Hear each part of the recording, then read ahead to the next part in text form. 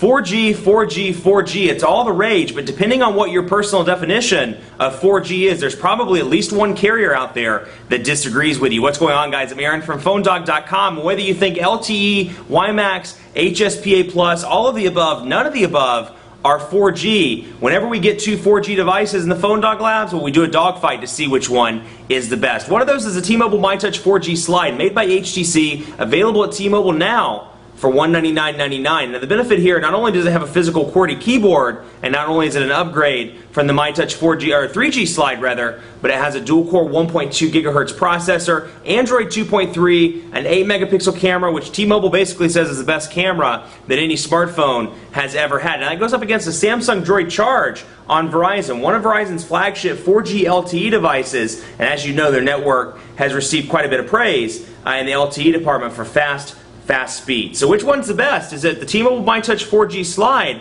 with the physical QWERTY keyboard, or is it the Samsung Droid Charge with all of its slabby goodness, Android 2.2, and Verizon 4G LTE connectivity? We'll find out in the dogfight, but first special thanks to our buds at Best Buy because when you walk into Best Buy Mobile, you don't have to deal with mail-in rebates. You walk out with either of these devices without messing with paperwork, waiting 8 to 10 weeks. That's pretty cool, and let me tell you, they give us a bunch of phones in our One Paw Bandit game. So, you know, all those phones that you win in our contests, those are provided by Best Buy Mobile. But enough of that, let's get into it. Which one's the best? MyTouch 4G Slide? Droid Charge? Let's find out in the dogfight, which starts right now. So, you know, we hear 4G all of the time. You see Verizon has 4G LTE, Sprint has WiMAX, T-Mobile has HSPA Plus, AT&T kind of has HSPA Plus and is moving to LTE. So, you know, a lot of stuff going on in the 4G spectrum, but customers 4G is 4G, everybody has 4G uh, according to what advertisements portray. So it's interesting to look at the different 4G devices. Here we have the T-Mobile MyTouch 4G Slide. It's the newest version of the MyTouch family, it's available now for $199.99 after mail-in rebate with a two-year agreement. Then you have the Samsung Droid Charge over here. Now this is arguably Verizon's flagship 4G LTE device at the moment. It's available for $299.99 uh, at Verizon. Actually, they may have dropped the price to 249. I think I saw a special for it, but it's still usually $299. 99 So it's up there in that pretty expensive price tier. A little bit more expensive than the Thunderbolt and the LG Revolution, but it offers a Super AMOLED Plus display and a couple of other features that make it you know a little bit more on the higher end spectrum than the uh, Thunderbolt and the Revolution. Not to say that both of those aren't decent devices, but you have the MyTouch 4G slide over here, 1.2 gigahertz dual core Snapdragon processor over here. So you have a dual core processor here. You have a 3.7 inch display. So the display is a little bit on the smaller side I know the natural progression, as everybody says, where and the iPhone 4 has a 3.5 inch display. You're correct, but you know you look at the Android world, 3.7 to 4.5, you know, is really where it's at in the Android world with that nice sweet spot between you know about four inches. So I know a lot of people like the you know bigger displays, four inches, 4.3 inches. It's kind of become the norm. So the interesting thing with this is how well is it going to sell. But anyway, 3.7 inch Super LCD display. Over here you have an 8 megapixel camera on the back which T-Mobile and HTC are calling the most advanced camera on any smartphone. So you have that of course with autofocus, dual LED flash, you have a front facing camera up here and you know design wise it's very similar to the MyTouch 4G. Now where this is an evolutionary bump from the 3G slide is not only the dual core processor and the specs but also of course it has that physical QWERTY keyboard. It's a four, uh, four row QWERTY keyboard, dedicated row for the spacebar, for commonly used symbols, and then other stuff like the Genius button, menu, home, all the typical buttons that you see here on the front. So you have some physical buttons up here, home menu back, and the Genius button, which we'll cover a little bit later, and then an optical trackpad down here. But like I said, design-wise, very similar to the MyTouch 4G. So you can see it's the rounded edges with Chrome, and over here, volume rocker, micro USB charging port. On this side, physical camera button, if I don't drop the phone, which you know I love those physical camera buttons. 3.5 millimeter headphone jack up here at the top with a power button. And then all in all, you know, even with the physical QWERTY keyboard, I'm amazed at how thin and light this device is, and also how sturdy the hinge is. There's a little bit of, uh, it's not as, I'd say, hard to press as the Droid 3, something like that, where you really have to actively slide it up from beginning to end. But over here, you know, you press it and it kind of pops, auto pops into place. There's still some movement required, but it's a little bit more animated than the Droid 3. You can see T-Mobile on the back there. So all in all, this is a really nice device. The keyboard, I'll be honest with you, is kind of a spoiler, isn't my favorite uh, in the industry. I think the Droid, the Droid 3 is definitely the best right now, followed by something like the Epic and the Evo Shift and a couple of those. So not the best keyboard, but still it's nice to have the physical option. Then over here you have the Samsung Droid Charge, 1 gigahertz Hummingbird processor, so single core Hummingbird, a little bit slower, and also there's a concern about running out of memory on this. If I recall, it has 384 megabytes of memory. So you'll notice, you know, some slowdowns from time to time in the Droid Charge. Not really as much when you're doing everyday tasks, you know, you're scrolling through home screens, things like that. But if you opened up a lot of programs at once or, you know, relatively quickly right behind each other, you'll notice a little bit of a slowdown at least I have. So Android 2.2 over here with Samsung's TouchWiz user interface is running TouchWiz 3.0, whereas over here you have Android 2.3. It's the latest version that's really available right now, Gingerbread, with HTC Sense 3.0. Now this is what's called an espresso build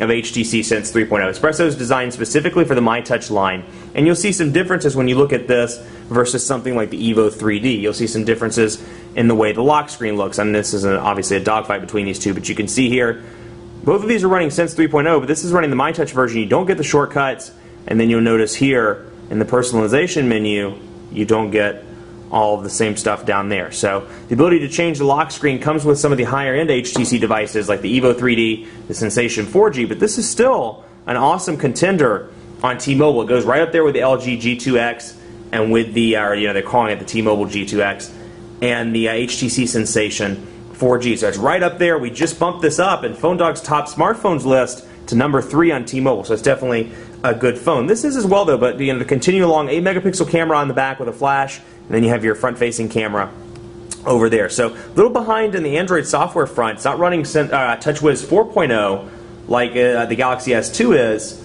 but still 3.0 pretty decent. And you know, for those that are switching from iPhone or you know from an iOS device, be it an iPod Touch, something you've used in the past, you're going to see a lot of similarities here in the way the interface looks. First of all, it scrolls from left to right. Also, you'll see these kind of colorful boxes around the applications. Now, there's a lot of bloatware that comes pre-installed on this device. You have Amazon Kindle, VCast apps, Backup Assistant, Bitbop, Blockbuster, City ID.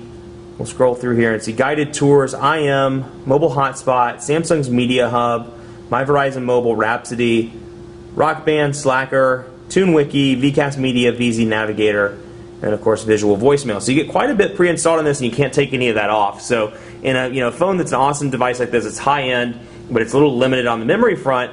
You kind of want to be able to take off as much as possible, but you can't on this device. Now you notice down here as well a little bit of a difference here on Sense 3.0 versus the 3.0 on the Evo and on the Sensation. The applications drawer a little bit different. You have three shortcuts down here: messages, internet, and contacts, which you can move those in and out if you want to. And then you have the call button down here and the menu button over here to the right. Now, I know a lot of people kind of get frustrated with the way this looks with the shortcuts down here. They like kind of the way the stock Android look is with you know the button down there in the center, and that's all that's down there. Maybe a shortcut or two on the sides, but button right in the center. Not the case over here. Applications drawer on both of these can be found on the right side. Now, in this one, you get Bejeweled 2 in terms of uh, bloatware FriendStream, which is an HTC thing. That's not really bloatware, but T-Mobile's Highlight, KidZone, Netflix, My Account, My Device, Polaris Office, Setup, T-Mobile Mall, T-Mobile TV, Telenav, which is you know, there are obviously your uh, your GPS stuff, video chat, Wi-Fi calling, Wi-Fi hotspot, and Zinio Reader. So not only is this a Wi-Fi calling device where you can jump on the Wi-Fi network at home, if you're in an area with T-Mobile, spotty T-Mobile service,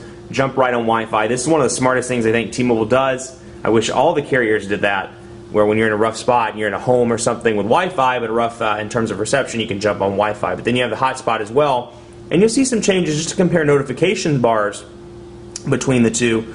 You know, for to both of these to be running Android, it's pretty impressive to look at all of the differences, even though this one's running 2.3 and this one's running 2.2. You can see over here, you have your recent applications, so much like Sense 3.0 that we've seen in the past, you have the ability to slide through and see your most recent applications, but this is a nice little perk that comes with uh, 3.0, the Quick Settings tab down here, which gives you the, the ability to pop over, turn on Wi-Fi, turn on Wi-Fi hotspot, Bluetooth, GPS, you can do all of that without actually going into the settings menu, which is very nice. And then, along with Sense 3.0, HTC's bundled their own task manager, so I can go in here, I can see what's running, I can kill it all and refresh it safely without downloading a third-party application like Advanced Task Killer, something like that. So that's a big pro for a lot of people that think that uh, task killers, you know, the big industry battle right now is whether task killers uh, cause issues or whether they improve the overall performance, and that's definitely a hot debate uh, going on right now. Well, with this, and this one has it as well, you'll notice the, uh, sorry about that, you notice the Droid Charge has it as well. There's a built-in Samsung Task Manager which you can jump into and kill all the stuff there. So let's go into text messaging. You can see we'll pop into messaging on both of these devices and take a look. Now, obviously, you have a lot more screen real estate over here. So when it comes to virtual keyboard, the, uh, the Droid Charge is going to be the one that wins. But you can see kind of the new interface over here. You have this tab here where you can move between groups and attachments. And then over here, I can open it up. And you can see I have HTC's Sense keyboard, but then I also have Swype pre-installed as well. So Swype's your thing, that's there as well. So I can say the Quick Brown Fox. Fox wants some water. And so you can see 3.7 inch display makes it kind of hard to type. But that's at the point for me where it's a little bit too small. But again, you know, different strokes uh, for different people. So different, uh, Quick Brown Fox wants some water. And then you can see in landscape, of course, I can turn it over and use that keyboard, and it offers a little bit more real estate. Now, where the perk comes in, the physical keyboard is here as well. So I can say the Quick Brown Fox mm, blah blah. Quick Brown Fox, blah blah blah. And, you know, the thing I don't like about the keyboard, it's not the keys are spaced well, they're large enough, but there's just not enough tactile feedback. They're very kind of sticky, almost like they don't want to work. And I'm hoping that with use, you know, with a couple of months of use, that'll go away, or perhaps it's just this unit. I mean, obviously that manufacturing stuff varies from device to device, but that could be frustrating for people that are used to a better keyboard, like a BlackBerry keyboard, and there are better ones even on the market right now, not only between the BlackBerry devices, but the Droid 3's keyboard is far, far better than the MyTouch 4G slide. So if you're looking for one, you know, with a great keyboard, check that one out. But uh, you know, if the keyboard is not your only thing, this is definitely an awesome device. It just does not do particularly well in the keyboard department, the physical keyboard department. That is. You can see over here a couple different options come out of the box: Samsung keypad and Swype, so you get that as well. And then just to show you what it looks like in landscape mode with a 4.3 inch display, pretty easy to type on. There's quite a bit of screen real estate, and I can see here Quick Brown Fox is happy. It's pretty quick and easy to type on there. Samsung's keypad has improved. It's still not my favorite, but it's on there and available for your use. And of course, you can download some of the third-party keyboards through the market, Gingerbread keyboard, uh, Swift Key, things like that. You can download for free or for a small fee in the Android market. So keyboard front definitely goes to the Samsung Droid Charge. The fact that this one has a physical keyboard, it wins an award there just for having it, but it's not the best physical QWERTY on the market by any means.